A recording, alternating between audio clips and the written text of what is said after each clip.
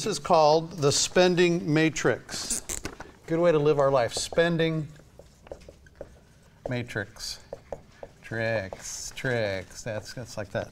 Okay, here we go. Um, bottom line on the spending matrix, it starts down here. So if this is your starting point, as you work your way around, number one on a spending matrix is patience and exercising patience. Okay? So, what does that mean? When you go shopping, when you go to buy something, first thing you want to think about is patience. Do I really need this right now? Can, I wait on this? Is this the most important thing I have to use my money on, right? So, it's patience. This pen is not very good. Let's try this one. Next step, as you go around the spending matrix, oh, that one's better. We're starting here. We're exercising patience. We are probing our, in, our motives. All right? We're thinking about why is it that I want to buy that big screen TV? Why is it that I need this new car? Why is it that I need whatever that item is, right?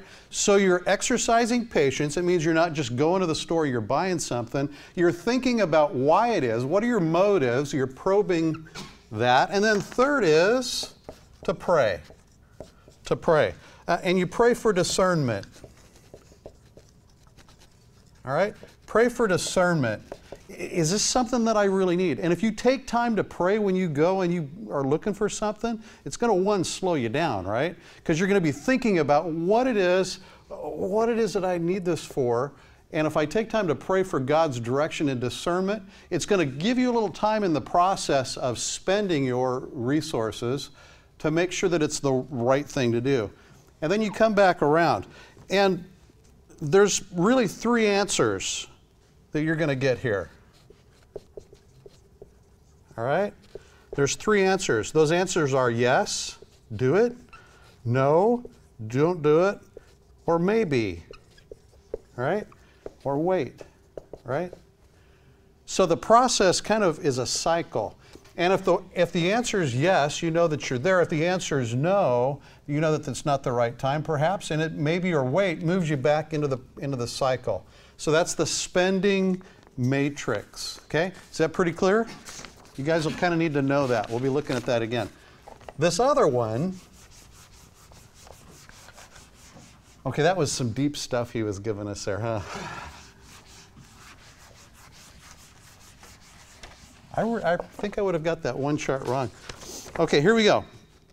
This is called the positioning money.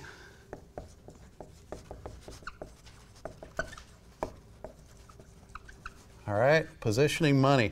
And the bottom line on this chart um, is that if you make a circle, right, where it's like a target. So we got, we got some concentric circles that look like this. That was pretty good. One, two, three, four. One, two, three, four, five. All right. On the inside of this little, this little diagram are core truths. Core truths, okay? And it's the positioning money um, chart. Bottom line on this, the core truths. This is, um, this is God's part. I'll just kind of write these out. God's part, our part. All right? It's um, honesty giving. It's all the things that we've been talking about in class. It's counsel debt. You know, it's um, work eternity.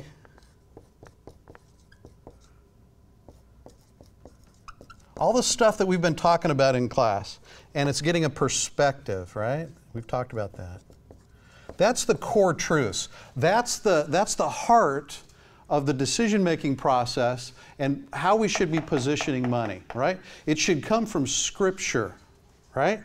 Next is conviction. Conviction. And conviction is things like um, when it comes to insurance should I have it? You know, he gave us some really good arguments on insurance, right? Um, student loans, right? Uh, retirement accounts. We're going to have convictions about insurance. We're going to have convictions about how many loans should we take out. We're going to have uh, convictions about retirement accounts based on our core truths, right? On these things that we know from Scripture, right? So we're going to base decisions like this on what we know to be true from the Word of God. Next step out is opinion. Opinion. And on the opinion side, um, you're going to have opinions about things like mortgages. How much is enough? How much is too much? Um, insurance here, right? Uh, stock market. You're going to get different advisors that tell you different things about the stock market. He was pretty pro stock market, wasn't he? A lot of advisors are. They think it's a really good resource for us. So he's going to give you opinions based on his convictions, based on the core truths that he understands, right? Does that make sense? the next category are questions. Questions. And questions such as uh, how much is enough? We've talked about that this semester. How much do you need to make? To whom should I give?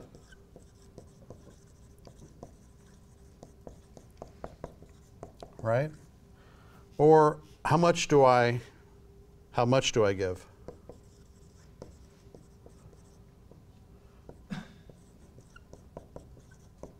All right, those are questions that you can design based on your opinions from your convictions that come from the core truths that you've learned. That's why this is so critical, right? And that outside circle are outside influencers. Right? It's the world. It's what you hear in media. It's what you hear from your friends. It's what you hear from the message that, that comes from the outside. Too often in life, we go outside in, right? We let these drive our heart and our actions, our commitment, our passions. Outside influencers are what drives our life, rather than going from core truths. So, what you've done all semester long is to build those core truths that are going to affect your convictions, that will affect your opinion, that will help answer the questions. Does it make sense? And what I'm challenging you to do is not be influenced by this, but go from inside out rather than inside in. Make sense? Kind of an important thing, and I, and I hope you guys get it because this is where the rubber meets the road. This is where you'll take what you've learned this semester and you'll apply it, not being influenced by the outside. Okay? Important stuff.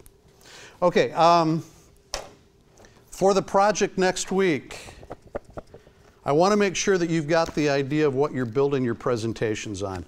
Remember what they are. You remember, guys, remember the five things? Here they are. Why? Determine and understand your motives for giving. That is so huge for you guys. We're going to talk a little bit about giving here, real quick.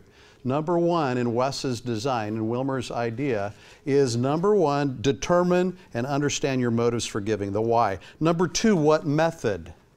What method are you going to use to give? What, what areas has God blessed you in that you can use to give back, right? Um, a good rule of thumb, we haven't really talked about this, but you should focus on six to 10 organizations at the most so preferably less, that you can focus your intentions on. When you're out of here, you're looking for future donations, look at six to 10 at the most, and commitment over time. Don't just fly in and drop a little money and fly out. Look for organizations that you can commit to over time, where you can see a difference in those organizations. That is so cool. Your generation does a better job of that than mine. You know, we've tended to kind of sprinkle a little money here and there. But you guys get passionate about something and you give towards it. That is so cool. And that's the best way to give. So think about your methodology. Biola University offers a variety of biblically centered degree programs, ranging from business to ministry to the arts and sciences. Visit biola.edu to find out how Biola could make a difference in your life.